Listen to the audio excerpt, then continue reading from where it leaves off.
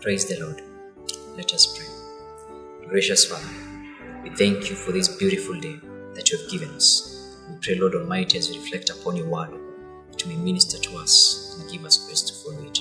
In Jesus' name, we pray, trusting and believing. Brethren, we welcome you to today's daily encounter.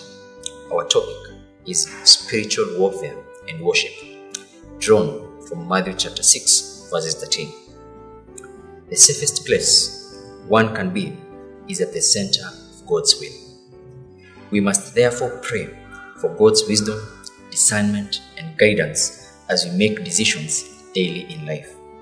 Ephesians chapter 6 verses 12 explains that we are in a battle against evil, and the evil one, for Satan's sake, seeks to ensnare us and draw us away from God's kingdom and His will by getting us at our weakest points during trials and temptations.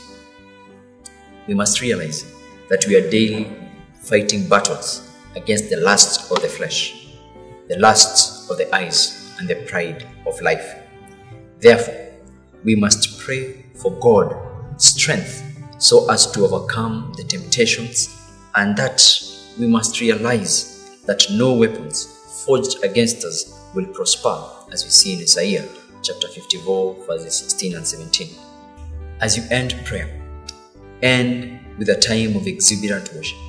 Spend some moments declaring your faith in God, His power and ability to do all that you have asked for for His glory.